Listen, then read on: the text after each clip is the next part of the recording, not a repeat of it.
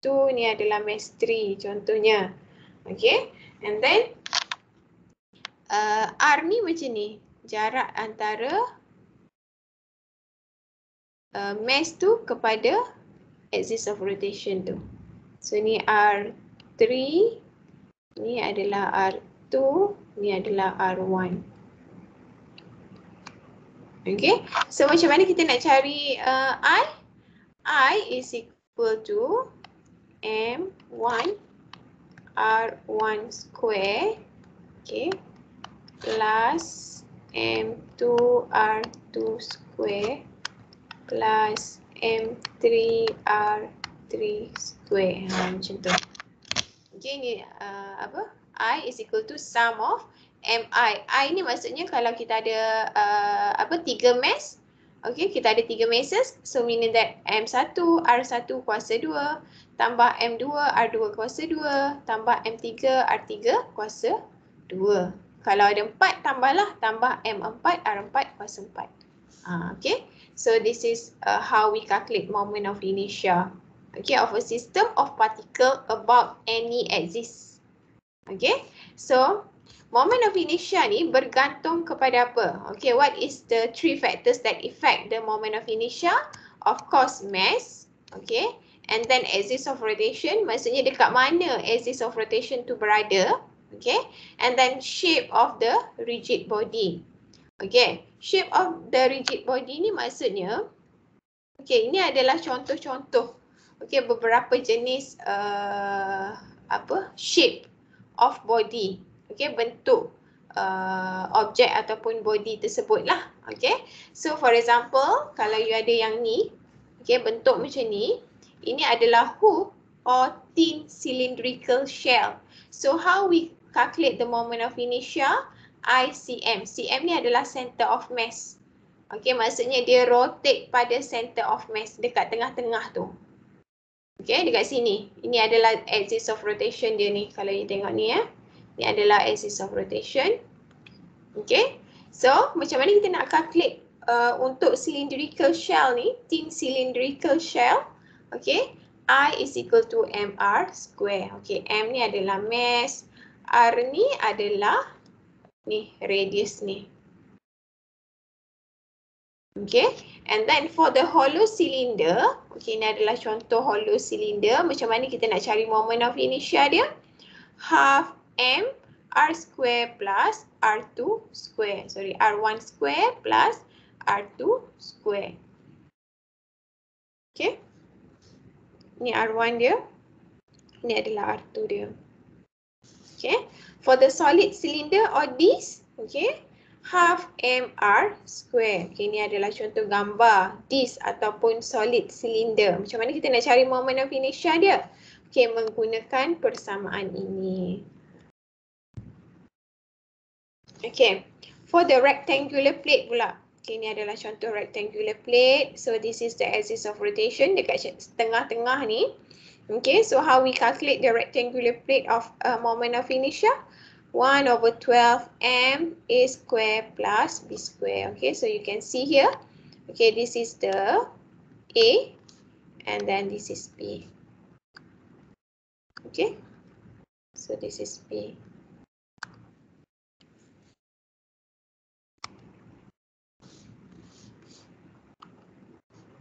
Okay. Ada lagi long thin rod with rotation axis through center. Okay, what is the different here? Okay, yang ni dengan yang ni beza dia. Yang ni adalah dekat center. Okay, so yang ni adalah dekat end dia punya center of rotation tu. Okay, dekat end. Okay, yang ni dekat center. Okay, so 1 over 12 ml square. Okay, axis of rotation dia ada dekat sini. Tapi kalau untuk uh, long atau uh, long thin rod with rotation axis through the end. Okay, kalau dia axis of rotation dia dekat sini. So you can imagine eh, benda ni berputar macam ni. So axis of rotation dia di sini. So macam mana nak cari moment of inertia dia? 1 per 3 ml square. Okay, L tu adalah panjang rod lah. Okay, yang ni untuk solid sphere dan yang ni untuk thin spherical shell. Ada soalan tak?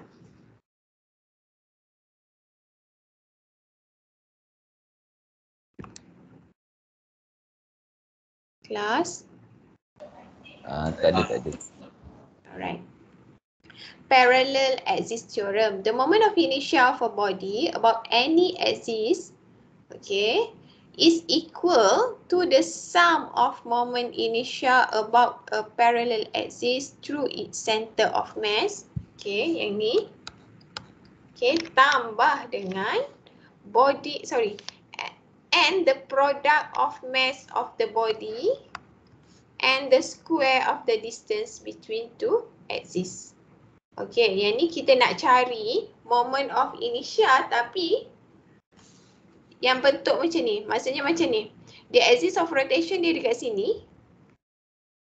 Okay, axis of rotation dia dekat sini. Tapi kita nak cari moment of inertia di sini.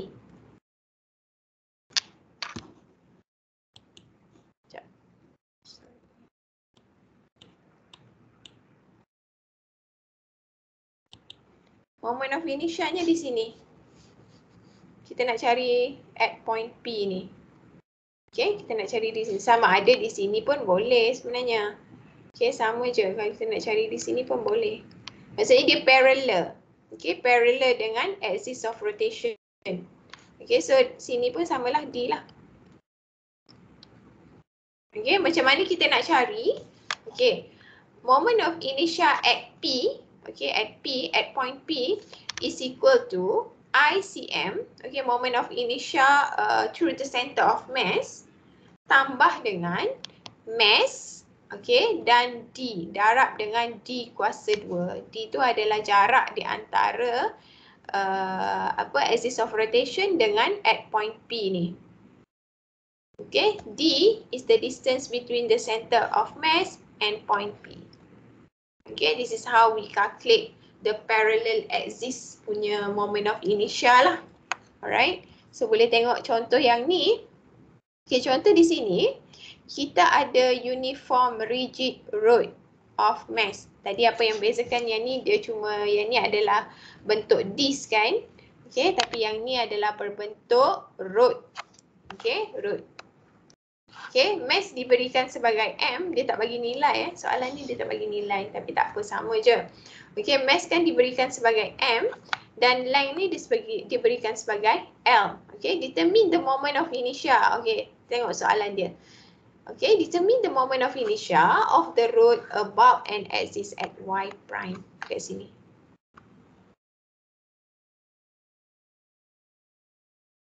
Okay, kita nak cari yang dekat sini. So, moment of inertia y prime is equal to moment of inertia at the center of mass. Okay, dekat tengah ni. Tambah dengan md square. Okay, D square ni adalah from here to here. So ini adalah D square. So maksudnya bila D square tu daripada sini ke sini, so meaning that it is L over 2 lah. Because of uh, the length of the road is L.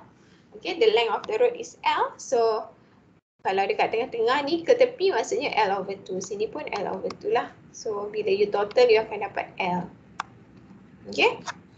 So you just substitute lah. ICM tu adalah 1 over 12 ml square. Okay. Kenapa dia 1 over 12 ml square? Sebab dia kata root dekat sini. Okay. Sebab dia kata root. So you refer balik persamaan yang tadi. Yang ni. Long thin rod with rotation axis through center Okey adalah 1 over 12 ml kuasa 2. So you guna persamaan ni. Okey.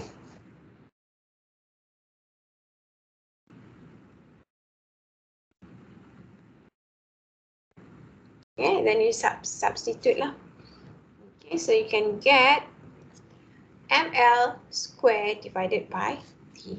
Okay, so ni adalah 1, ni adalah 3. So ml kuasa 2 bahagi dengan 3. So yang akan dapat persamaan untuk moment of inertia about an axis at y prime.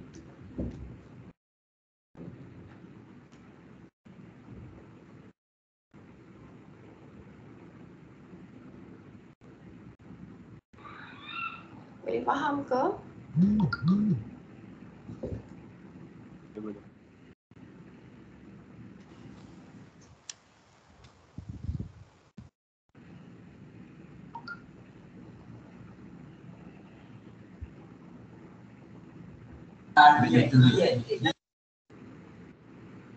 Class? Are you okay? Okay. Alright. Okay, look at 6.4. Consider an oxygen molecule. Okay, look at the figure we have. Okay, this one is the oxygen molecule. Eh? Ni oxygen molecule. Rotating in the SY plane about the Z axis. Okay, dekat sini. Axis of rotation dia dekat Z tu. The mass of each oxygen, okay, mass dia dah beri, and the separation between the two atoms is 1.21 times 10 with the power of negative 10 meters. Okay, jarak antara kedua-dua ni lah. Okay, ni D ni. Okay, calculate the moment of inertia of the molecule about the Z axis. Okay, kita nak cari moment of inertia. Okay, so from the equation of sum, uh, sorry, moment of inertia is equal to sum MI square. Okay, sama yang saya bagi tahu tadi lah. Okay, because here kita ada dua molekul. Okay, jadi M1 R1 kuasa 2 tambah M2 R2 kuasa 2. Okay, and then you substitute M1 is equal to M2. Ni actually dia apa bergantung kepada awak lah. Tak kisahlah awak nak buat nak selesaikan macam mana sama ada you nak samakan ataupun you nak daripada equation ni terus you substitute. Okay, because M1, M2 dia dah bagi and then D pun dia dah bagi. So kalau daripada persamaan you terus nak masukkan nilai you akan dapat jawapan yang sama juga sebenarnya. Okay, so you akan dapat 1.95 darab 10 negatif 46 kilogram meter square. Yang ni macam dia factorkan balik ni. Okay, sebab M1 sama dengan M2 jadi dia factorize. Okay, so dia, dia akan dapat M1 R1 square tambah R2 square. Okay. So R1 sama dengan R2. So dibagi dengan 2. Ni kan. Okay, because of uh, R dekat sini adalah jarak di antara mass mass dengan axis of rotation. So sini ke sini dengan sini ke sini adalah D divided by 2 lah. So ni pun D divided by 2. Okay. So nanti akan dapat jawapan. 1.95 darab 10 negatif 46.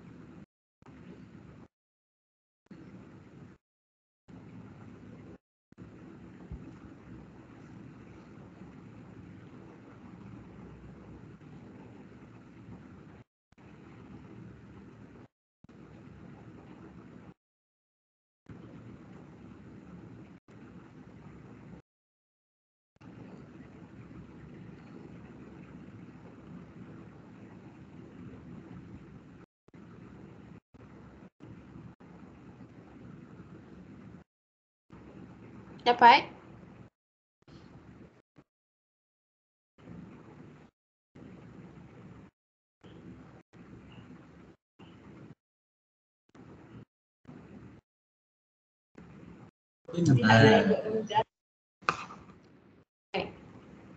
So we go to talk on a rotating body. Okay, sebelum ni kita belajar talk in equilibrium kan? Okay, in equilibrium body ataupun object. So sekarang ni kita belajar talk on a rotating body.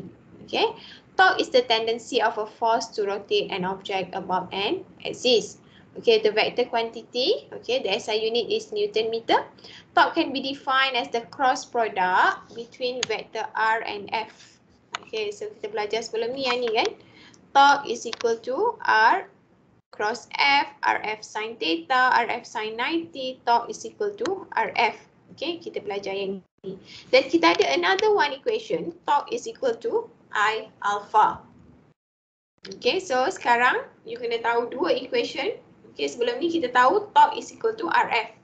Sekarang torque is equal to RF, torque is equal to I alpha. I ni adalah moment of inertia ya. Moment of inertia. Okay, alpha ni adalah angular acceleration.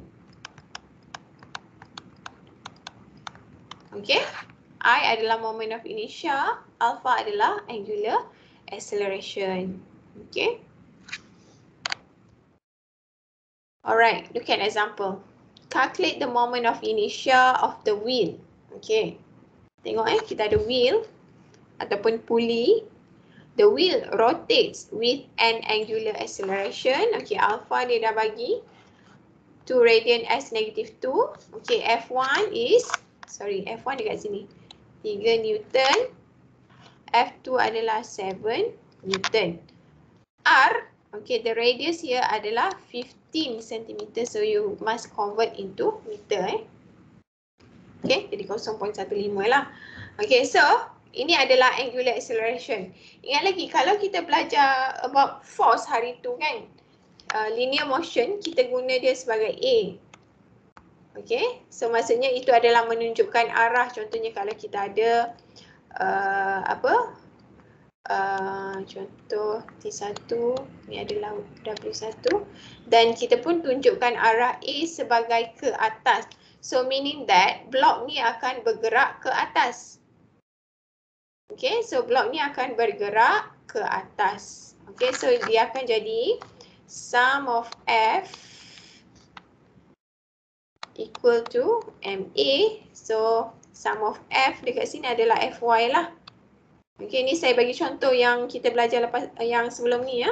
Sum of Fy is equal to MA. Okay, so what is the force acted? in this block, kita ada T1 minus W1. Okay, so kita akan dapat T1 minus W1 is equal to MA. Ni yang kita belajar sebelum ni kan?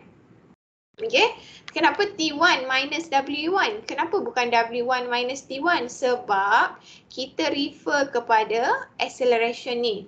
Because of the acceleration is upward. Okay, jadi force yang sama arah dengan acceleration akan jadi positif dan yang berlawanan arah okey contohnya ni W ni berlawanan arah dengan acceleration akan jadi negatif lah. That's why we put T1 minus W1 is equal to MA dia berbeza kalau kata macam ni T ke atas W ke bawah and then acceleration is downward. Okay what happened uh, to this equation? Dia akan jadi W minus T is equal to MA. Yang ni clear eh. Saya harap semua orang clear. Kita dah belajar banyak kali dah ni. Okay. Berbeza tu. So you kena refer ni. Acceleration. Macam ni juga. Kita kena refer dia punya angular acceleration. Okay. Sebab dia adalah rotating body. Rotate. Okay. Rotational motion. So we must refer to the angular acceleration. Okay, for the linear motion, we refer to the acceleration. Okay, so in this uh, figure, okay, it's already state that the angular acceleration is in anti-clockwise. Okay, macam ni kan? Dia rotate dalam anti-clockwise. Okay, so you can imagine kita ada wheel. Okay, dan force force of the wheel ni, F2 ni kita tarik ke bawah apa jadi pada roda ni? Roda ni akan berpusing dalam anti-clockwise ataupun clockwise? Anti-clockwise. Anti-clockwise. Okay, so yang ni F2 pun akan jadi anti-clockwise. How about F1? Kita ada roda dan kita tarik ke sini. Okay, so roda tu akan berpusing ke mana? Clockwise. Clockwise. Okay, so equation yang akan jadi since we have torque is equal to RF. Okay, so F kita ada dua. F1 dengan F2. Okay, so F2 tadi kita tahu dia akan berputar pada anti-clockwise. Which is sama dengan angular acceleration. So F2 ni akan jadi positif. F1 ni because it rotates, rotate in opposite direction of angular acceleration jadi yang ni akan jadi negatif ni akan jadi positif. Okay, that's why kita letak positif RF2 minus RF1 ataupun negatif R F1. Sebab F1 ni dia berlawanan arah dengan anti-clockwise. F2 ni akan akan menyebabkan wheel ni bergerak sama arah dengan angular acceleration which is anti-clockwise. Okay, and then kita ada satu lagi equation torque is equal to I alpha. So, torque is equal to RF, torque is equal to I alpha. Okay, these two equation you kena ingat. Okay, so kita ada equation pertama, kita ada equation kedua. Jelas tak kenapa positif negatif ni? Dah boleh relate tak? Boleh. Alright, good. So, equation 2 is equal to equation 1.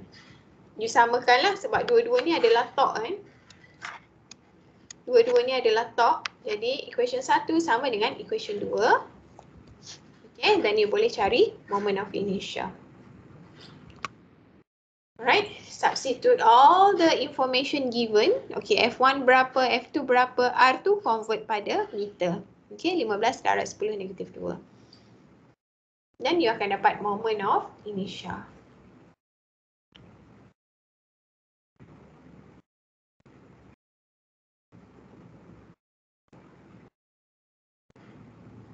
Ah, dia tu. Kita Ada soalan ke? Saya tak dengar lah. saya ada soalan.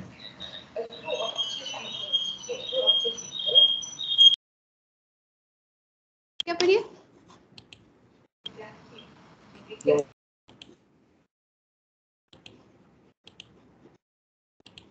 Apa dia? Saya tak dengar. Ah, kalau yang ada soalan rotating body baru guna torque ni. Kalau Hasnawi sebab dia macam bergema-gema. Uh, boleh type dekat chat kot kalau saya tak dengar. Oh, okey okey. Ah, uh, dia macam bergema. Saya tak tak boleh dengar.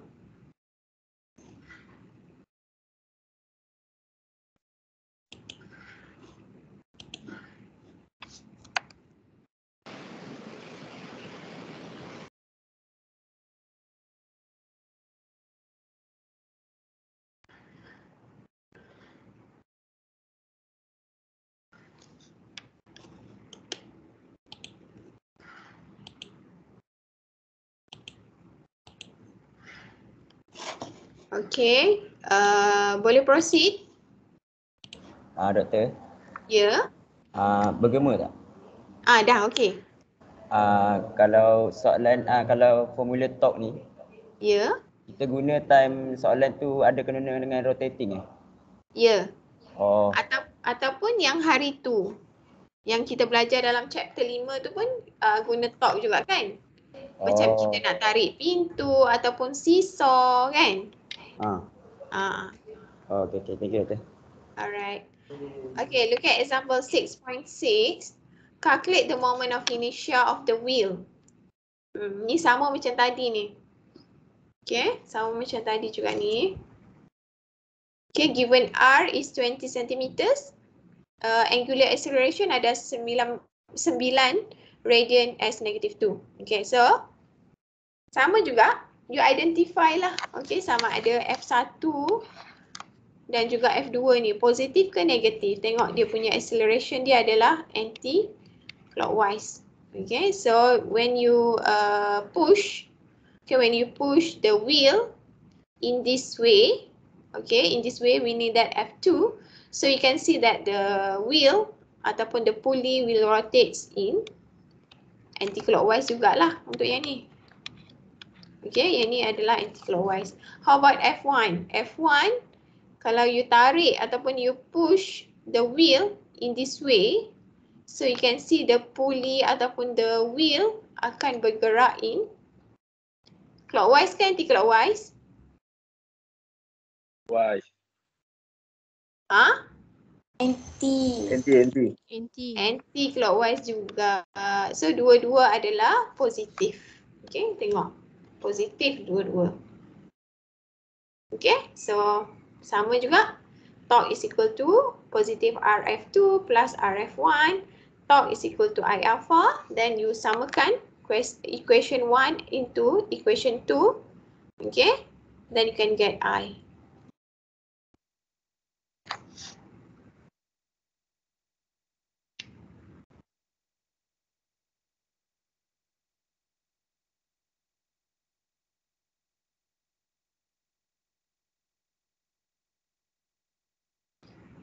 Okay, for your information eh, untuk final exam akan masuk chapter 6 hingga chapter 10. So, uh, saya cadangkan setiap kali kita buat lecture online macam ni because we record kan. Tapi recording ni dia akan um, luput ataupun dia akan hilang dengan sendiri dalam Teams tu nanti kalau you tak download dan you masukkan dalam class material. So dia akan hilang sendiri. Kalau you nak selamat because at the end of mungkin dalam bulan 12 baru nak buat revision kan. Jadi you nak tengok balik video ni mungkin akan hilang. So jadi uh, saya cadangkan untuk you download dan you masukkan dalam kelas material dalam uh, Teams juga tapi dalam bahagian files tu yang selalu saya masukkan uh, video recording tu. Okay, so jadi better buat macam tu. Senang you all nak refer nanti. Kalau tak nanti dia hilang ni bulan 12 nanti sure dah tak ada benda ni. Okay.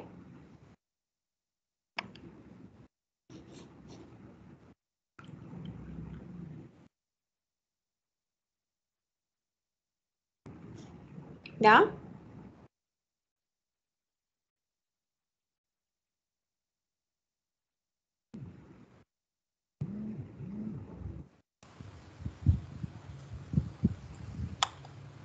Dah ke? Dah, dah, dah. Alright. Okay, example 6.7.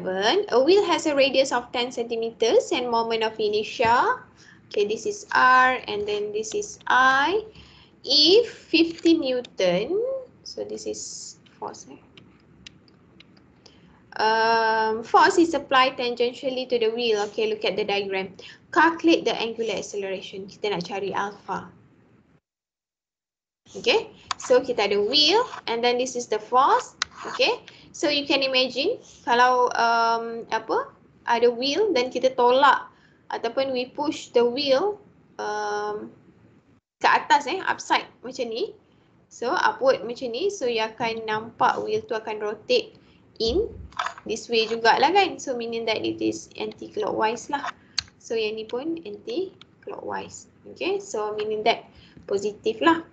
Okay, so torque is equal to RF. Okay, torque is equal to I alpha. Sebab kita hanya ada satu F saja eh. Macam tadi kita ada dua F. Sebab tu kita kena tambah R1, F1 tambah R2, uh, F2 tadi kan. Tapi sebab dekat sini kita hanya ada satu F saja. So kita letak RF sahajalah. Okay, and then we put equation 2 is equal to equation 1. Okay, kita nak cari A kita nak cari ni alpha sorry bukan A alpha angular acceleration. Sebab moment of inertia dia dah bagi radius pun dah ada F pun dah ada. Okay? So you just substitute lah. Okay so you can get um, alpha. Ni alpha eh? Salah tu alpha. Alpha is equal to radian s negative 2 Okay. Dapat tujuh, sama tak 75 ke dia salah kira ni? Dapat, dapat, dapat. Dapat eh? Ah, okay. Alright. Look at 6.8. A solid cylinder. Ah, dia bagi tahu solid cylinder. So, Cuba you tengok apa uh, formula untuk moment of inertia solid cylinder tu. Okay. Has a mass of 8 kg and radius of 25 cm. So kita ada M, kita ada R, radius. Okay. Apa formula untuk solid cylinder? Moment of inertia untuk solid cylinder. What is the formula? One over Solid two cylinder. MR, 1 over 2 MR2. mr square. Ah, okay. So kita nak calculate the moment of inertia of the solid cylinder. So you just substitute in the equation. Okay. half mr square. Okay, for the solid cylinder, the moment of inertia adalah half mr square. So m is given, r also given. So you can get 0.25 kilogram meter square.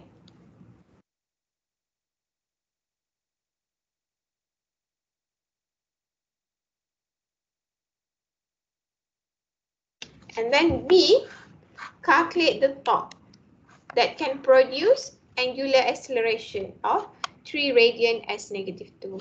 Ha, senanglah. I kita dah ada. So from the equation of torque is equal to I alpha. So masukkanlah I 0.25, alpha 3. Okay. So you can get 0.75 Newton meter.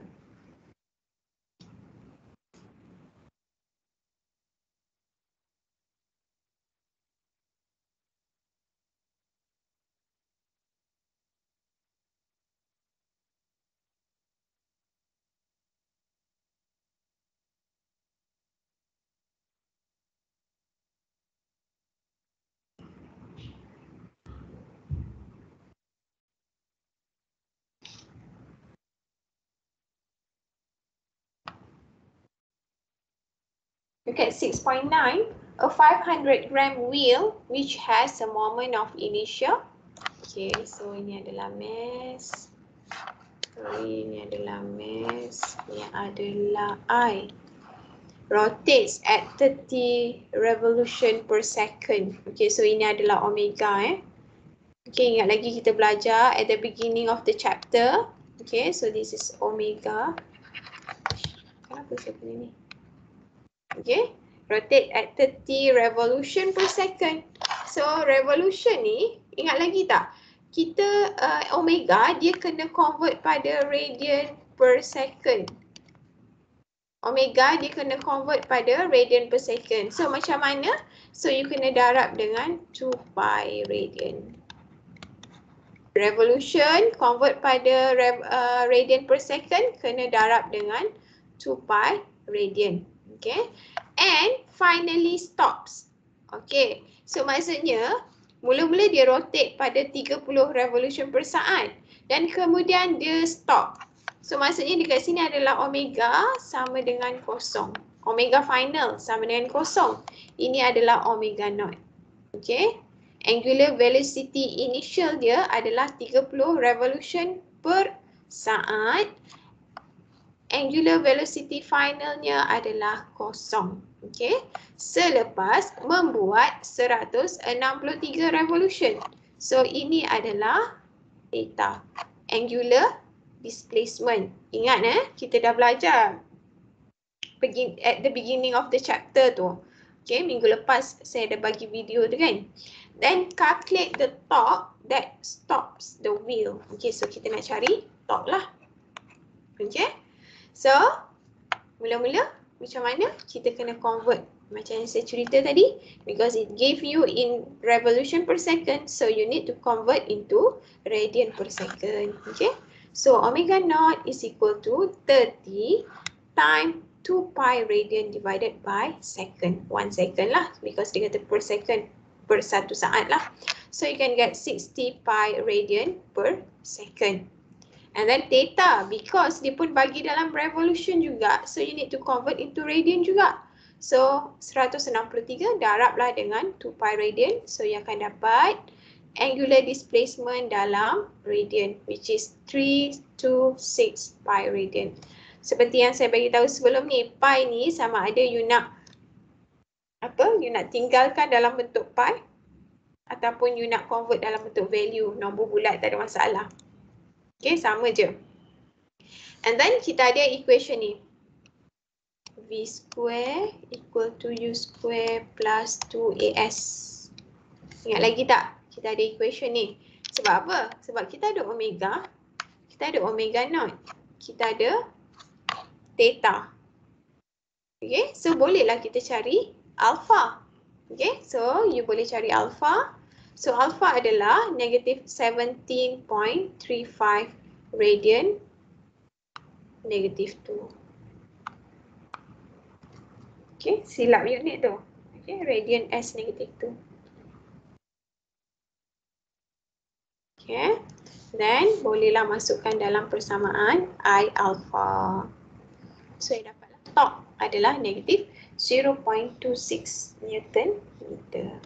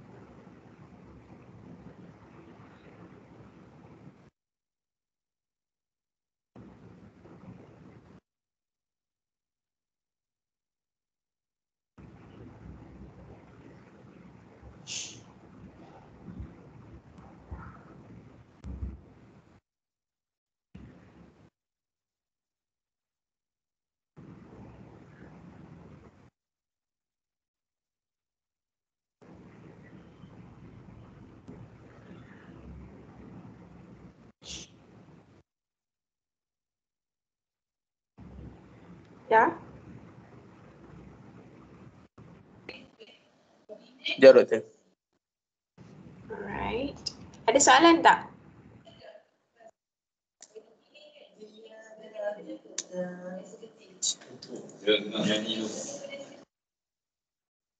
Ada? Ada ada. Okay, look at example 6.10. A man suspended from a string is attached to a pulley rotating in a counterclockwise direction. Calculate the time required for the pulley to come to rest. Okay, so kita nak cari T eh.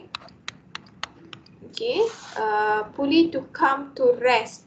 So macam dekat sini come to rest maksudnya omega dia adalah kosong lah. Okay. If the initial angular velocity, so omega naught dia adalah 5.4 radian. And the angular acceleration, so angular acceleration adalah negative 2.10 radian. It's negative 2. Okay, so kita nak cari T. Apa yang kita ada? Kita ada alpha, kita ada omega, dan kita ada omega naught. Okay, so, okay, so kita ada V is equal to U plus AT, ingat. So U kita ada, sorry, uh, omega naught kita ada, omega kita ada, alpha kita ada. Kita nak cari T. So bolehlah kita guna persamaan ni. So jadi omega is equal to omega naught plus alpha T. So T akan jadi omega minus omega naught divided by alpha kan. Okay. So dia masukkan dalam persamaan. Okay, so yang akan dapat T is equal to 2.57.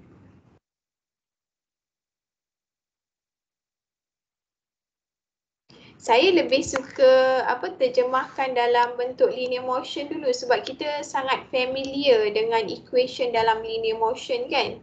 So lepas tu baru saya akan translate daripada uh, rotational motion. Maksudnya V tu apa, U tu apa, A tu apa, uh, macam tu. Saya memang otak saya mesti akan berfikir pada linear motion dulu. Tapi terpulang pada you all lah. Okay, mungkin you all lebih mahir dengan rotational motion ataupun ataupun memang senang sikit nak ingat uh, apa uh, untuk rotational motion pun tak ada masalah. Okay, macam saya, saya jenis yang akan macam terjemahkan dalam linear motion dulu. So lepas tu baru saya boleh fikirkan, okay, equation yang berkaitan dengan rotational motion tu.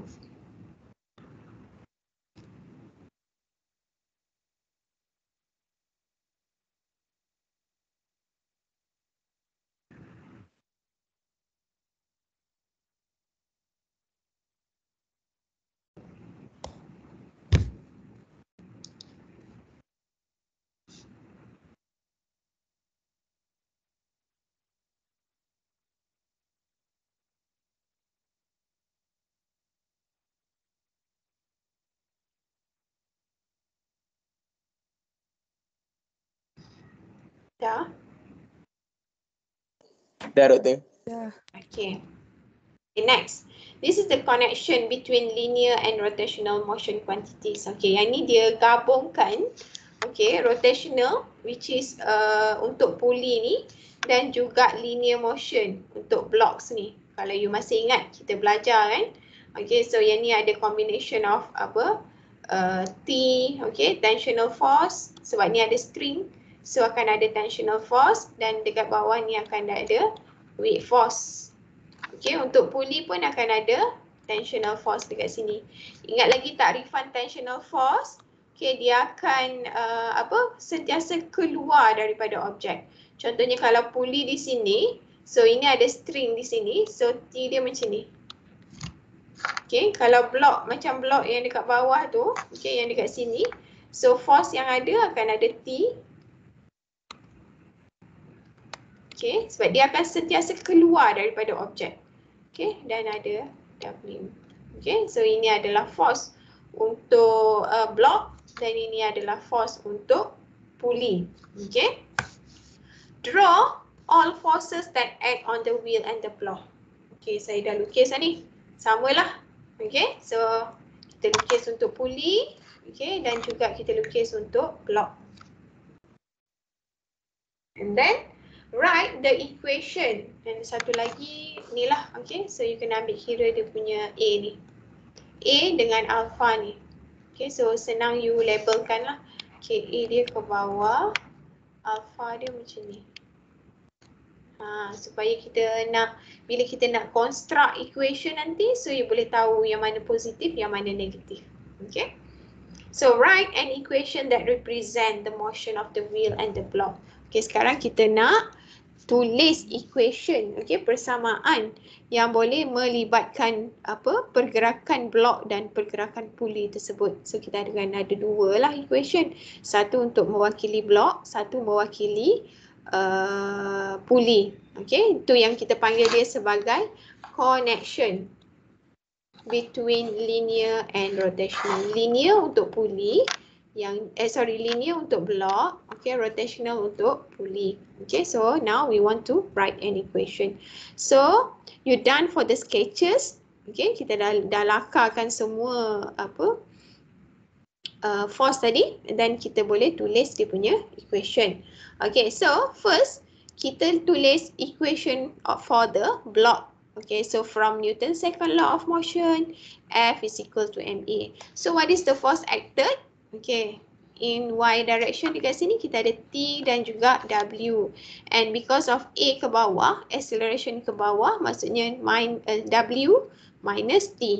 Okay, so w minus t is equal to ma. So you can get t is equal to w ni adalah mg eh. Ingat ya, w so mg minus ma. Okay, that one for the block. And then we go to for the pulley pula ataupun for the wheel.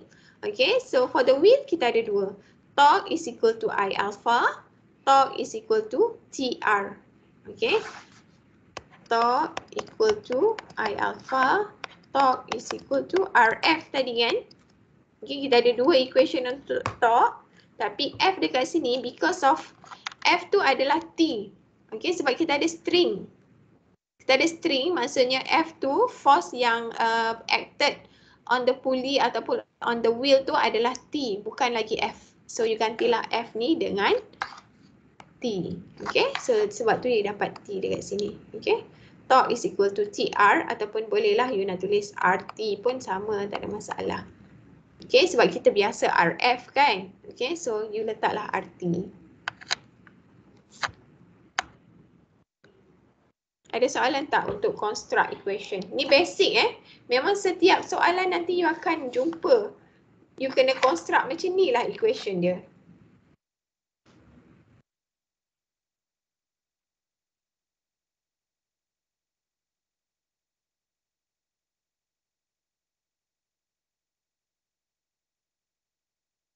And then C, kita nak cari apa? Equation untuk angular acceleration. Okay, since kita dah ada, ada equation uh, dua dengan tiga tadi. So, ini adalah melibatkan angular acceleration kan. So, kita boleh samakan persamaan 2 sama dengan persamaan 3. Okay. So I alpha is equal to TR. Okay. So T is equal to MGA into equation 4. So you gantilah. T ni you gantikan dengan MG minus A. Okay. So ia akan jadi I alpha mg minus mar. Then substitute A is equal to R alpha. Ingat tadi ya, saya dah bagi tahu V is equal to R omega, A is equal to R alpha, theta, sorry, S is equal to R theta.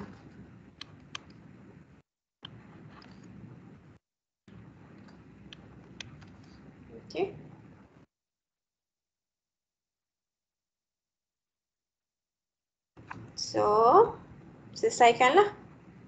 So, you akan dapat uh, equation untuk angular acceleration.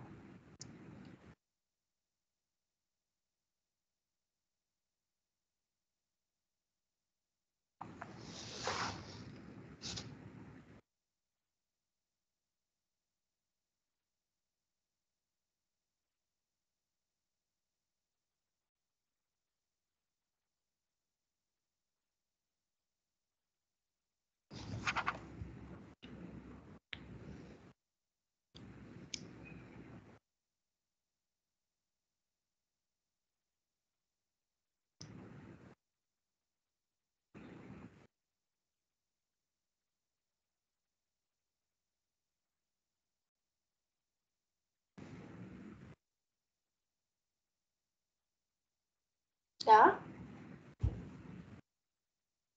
Sikit sikit sikit. Ya.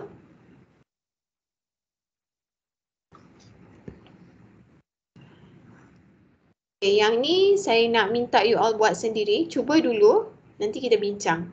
Saya, saya dah saya kita dah habis masa ni. Saya pun ada kelas. So nanti you tengoklah. Okay, and then kita discuss nanti jawapan akhir dia akan jadi torque is equal to 1.461 Newton meter. Okay, yang ni kita nak cari torque. Lepas you dah dapat, dia sama je uh, step dengan yang tadi. Bila you dah dapat alpha tu tadi, okay, so you bolehlah masukkan dalam torque is equal to I alpha. Okay, so you akan dapatlah torque. Step dia sama je. You construct sampai you dapat equation untuk alpha tu. Then, kita nak cari torque. So, kita tahu persamaan torque is equal to I alpha. Uh, sorry, soalan 6.12. Ada tak dalam buku you? Ada. Ada kan? Ha, so, you boleh tengoklah nanti cuba buat dulu. Saya rasa itu saja untuk hari ini. Ada soalan tak sebelum kita end class?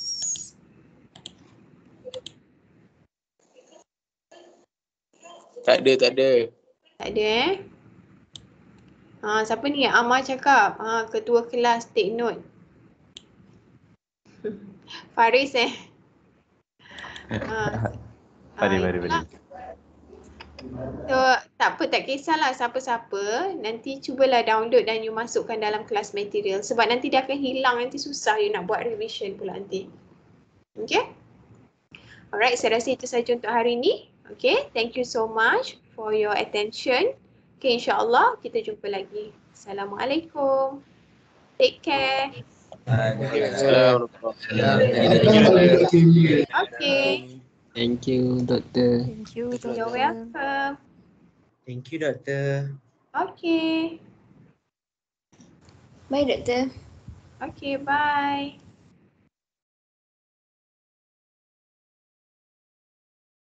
So Ahmad nanti ajar saya macam mana nak buat screen macam ni eh.